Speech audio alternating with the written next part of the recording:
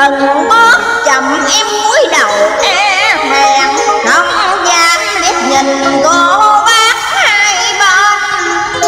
Tai vẫn nghe tiếng thì thầm to nhỏ.